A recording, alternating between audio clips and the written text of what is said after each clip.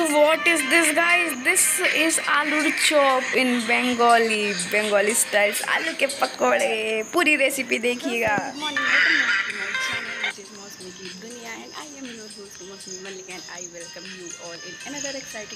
Guys मैं यहाँ intro shoot करना भूल गई थी तो मैंने किसी और का इंट्रो मेरे पास पड़ा था, मैंने लगा दिया। तो फाइनली आ चुके हैं स्कूल में और आते ही स्कूल में हम लोगों ने संभाला अपने रजिस्टर का वर्क बिकॉज़ आज है स्कूल में मीटिंग तो उसके पहले थोड़ा बहुत हमारे पास टाइम तो हम करें रजिस्टर का वर्क फाइनली अब आ चुके हैं मीटिंग हॉल में।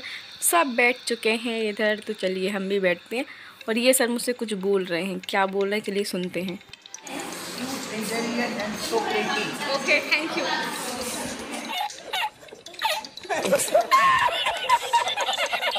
एक्चुअल में मैं स्कूल में सबसे छोटी और सबसे ज़्यादा नोटी भी हूँ तो सब मस्ती करते हैं सब मुझे बहुत पैम्पर करते हैं। तो गाइज़ यहाँ पर भी मेरा पचका हो नहीं था। मैंने सोचा एक दो फ़ोटो लें तो ये देखो पीछे से क्या बोल रहे हैं सब।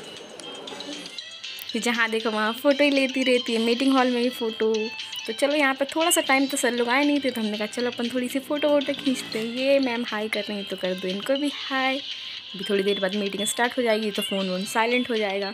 तो फाइनली मीटिंग हम लोग की ओवर हो चुकी है, बहुत अच्छी थी, लेकिन बहुत ज़्यादा टाइम लगा मीटिंग में। फाइनली अब मिला है हमें। लंच स्कूल की तरफ़ से बिकस तीन घंटे के से ज़्यादा हो चुका है हमारी मीटिंग को। तो चलिए खाते हैं फिर आपसे मिलते हैं। सी मैंने कैमरा स्टार्ट किया। इन दोनों सर ने बोला कि मौसमी की दुनिया शुरू हो गई है तो अब हम लेंगे इनके मज़े इनके टांग खींचने वाले हैं। मैं तो सबकी खींचती हूँ। अब बोलो। आज मेरे स्कूल में मीटिंग थी। हम लोग सभी यहाँ के टीचर्स नाश्ता कर रहे हैं। Meeting कर समझ रहे हो? समझ रहे हो सो गाइस फाइनली मीटिंग हो चुकी है, हमारी ओवर नाश्ता वगैरह जो भी था, वो सब हमने खा लिया। वो तो आपने देखा था। अब चलो चलते हैं घर आपसे मिलेंगे घर चल के ओके? सो छुट्टी में भी मिल गई है, चाय निकल रहे थे घर के लिए। हमने कहा, चलो जाते हैं घर, फिर इधर से निकले तो भाई ने आवाज़ दिया मैम, आपकी चाय रखी है, आपने चाय नहीं पी तो चाय पी के जाइए। ठीक है जिस दिन मीटिंग होती है, उस दिन हम लोग बड़ी सेवा होती है, नाश्ता वास्ता सब अलग से ठाट बाट होते हैं। भाई कुछ ज़्यादा नहीं हो गया मतलब कुछ भी। चलो चाय को पीते हैं फिर चले जाएँगे घर ठीक है ना? सो so, यहाँ पे सर कुछ समझा रहे थे तो हमने कहा चलो थोड़ी देर खड़े होते हैं सुनते हैं। फाइनली अब निकल चुके हैं बाहर। आप धूप देख लीजिए गाइस कितनी तेज़ धूप है। मेरी स्कूटी वो दूर खड़ी है। अब आप बताओ कैसे शूट करें यहाँ पे? सो गाइस फाइनली आ चुके हैं स्कूल से वापस और स्कूल से वापस आके ट्यूशन भी पढ़ाना हो गया है। स्कूल से बहुत लेट हो गए थे ऑलमोस्ट साढ़े चार बजे घर वापस आए। मीटिंग बहुत लंबी चली, बहुत सारे टॉपिक्स पे चलती रही कि बच्चों क्या परफॉर्मेंस है टीचर्स का क्या परफॉर्मेंस है, कौन टीचर कौन क्लास में कौन सी सब्जेक्ट ले रहा है। हर चीज़ टोटल डिटेल में समझाई गई, कुछ मेथड्स हमें समझाए गए, या हमें क्या टीचिंग देने में प्रॉब्लम सारी बच्चा कॉपरेट कर रहा है कि नहीं कर रहा, जो बच्चे कॉपरेट नहीं कर पा रहे, या कुछ बच्चे ऐसे भी जो ग्रामीण क्षेत्र से आए हैं न्यू एडमिशन हुआ है, उनके लिए स्पेशल क्लासेस हो एक्स्ट्रा क्लासेस हो, उनका होमवर्क करवाया जाए तो बहुत सारी नई ऐसी पॉलिसीज़ थी, उनके बारे में समझाया गया तो फाइनली बहुत लेट हो गया था घर वापस आने में। उसके बाद मैंने कुछ शूट नहीं किया, आपको मैंने दिखाया था घर वापस आते टाइम कितना ज़्यादा धूप था तो उतने धूप में जब घर वापस आओ तो बिल्कुल भी कुछ अच्छा नहीं लगता लगता है नहाओ और रिलैक्स करो। फिर आए, नहाए, वहाए, खाना वाना खाया, उसके बाद लेटे थे, थोड़ी देर बच्चे आ गए, उनको पढ़ाया। अभी हुए हैं पूरी तरीके से फ्री और छत पे आए थे हम मैंने कहा, चलो थोड़ा बहुत हवा लेते हैं फ्रेश एयर लेते हैं। बट यहाँ पर बिल्कुल भी हवा नहीं चल रही है, बहुत ज़्यादा लग रही है गर्मी। तो चलो, नीचे चलते हैं, फिर आपसे मिलते हैं ओके कुछ खाएँगे, भूख लग रही है। चलो चाय वाय बनाते हैं, पीते हैं। चलिए, नीचे। तो ये देखिए, नीचे आते ही मैंने ताम झाम फैला लिया। यहाँ पर मैंने आलू बॉयल करके लिया है। गर्म थे तो मैं चम्मच से पहले उसको तोड़ रही थी अब मैं हाथ से इसको कर रही हूँ। मैं बनाने वाली हूँ बंगाली स्टाइल आलू के पकौड़े। जैसे यहाँ पे आलू अंडा बनाए जाते हैं, लेकिन आलू अंडे का जो ऊपर का छिलका होता है, क्या बोलते हैं, मेरे को पता नहीं, कितना मोटा होता है, पाव जैसा। लेकिन ये बिल्कुल वैसा नहीं, बहुत ही अमेजिंग बनने वाला है। तो आलू को मैंने भून लिया है अच्छे से।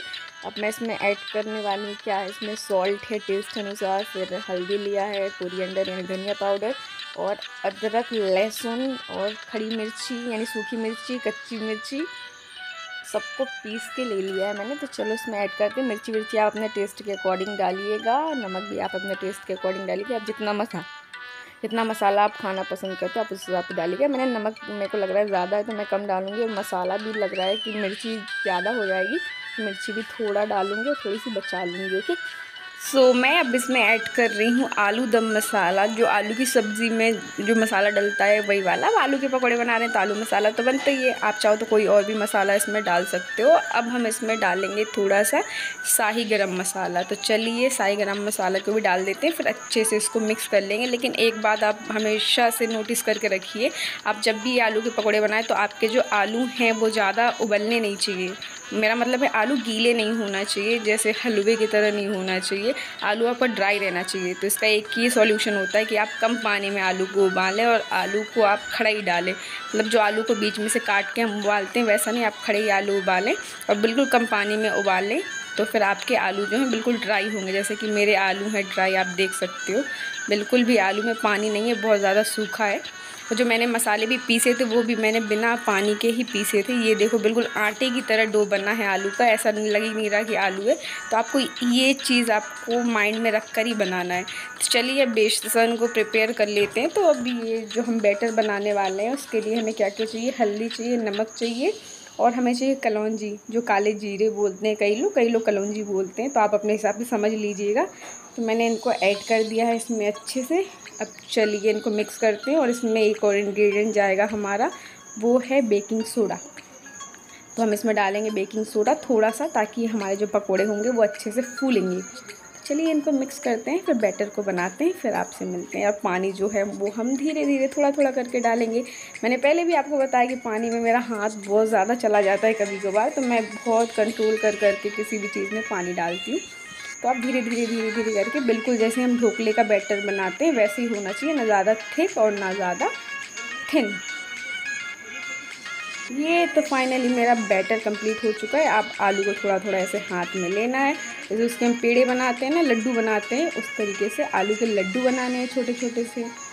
देखिए मैंने कैसे लड्डू बनाए चलिए मैं सारे लड्डू बना लूँ तो मैंने यहाँ पे ऑलमोस्ट बना लिया है। अब हमें क्या चाहिए? एक पन्नी चाहिए। आप कोई भी पॉलीथीन ले सकते हो। नीचे आप कोई भी तवा वगैरह या कुछ भी आप जो रख सकते हो। मैंने यहाँ पे रोटी बेलने वाला जो होता है ना, क्या बोलते हैं उसको, चकला वकला, वो रखा है। अब आप एक पेड़े को रखिए पॉलीथीन के ऊपर, पहले पॉलीथीन में अच्छे से तेल लगा लीजिए। अब थोड़ा थोड़ा जेंटली हल्के हल्के हाथ से इसको प्रेस करते चलिए। आलू को फैलाना है जैसे पापड़ को करते हैं तो ज़्यादा बिल्कुल पतला नहीं कर देना है। अदरवाइज़ जब आप उसको डिप करोगे बैटर में तो पिघल जाएगा।